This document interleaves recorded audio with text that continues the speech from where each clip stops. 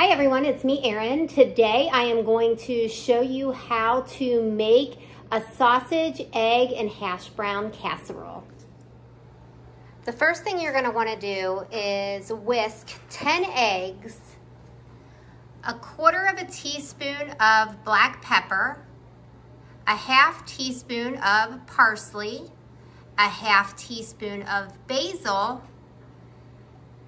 and a half a tablespoon of minced garlic.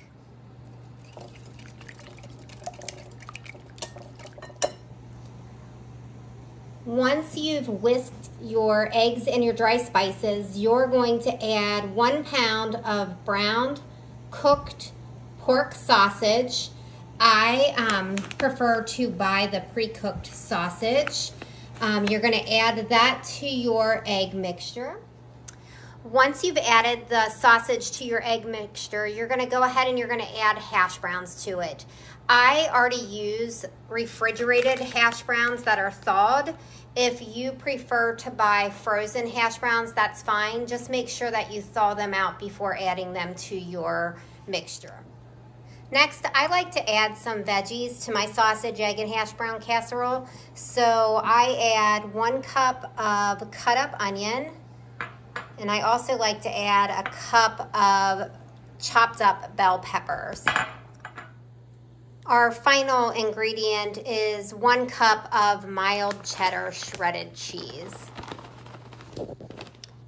Once you have all of the ingredients in there, you're just going to go ahead and mix it all up really well. Once you've mixed everything really well, you're then gonna go ahead and put it into a 9 by 13 inch glass casserole dish. Make sure your casserole dish is greased so that does not stick.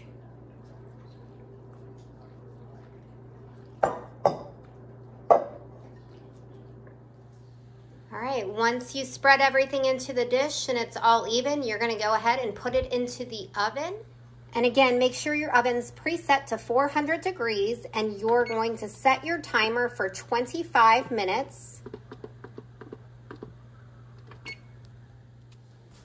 Once you set the oven timer for 25 minutes, you're gonna go ahead and put the casserole into the oven. Please make sure you check it at 25 minutes. It might take up to 30 minutes to cook. You wanna make sure the egg in the center of the casserole is fully set. Once it's completely set, you can take it out of the oven, let it cool for a few minutes, then cut it up and serve. Enjoy.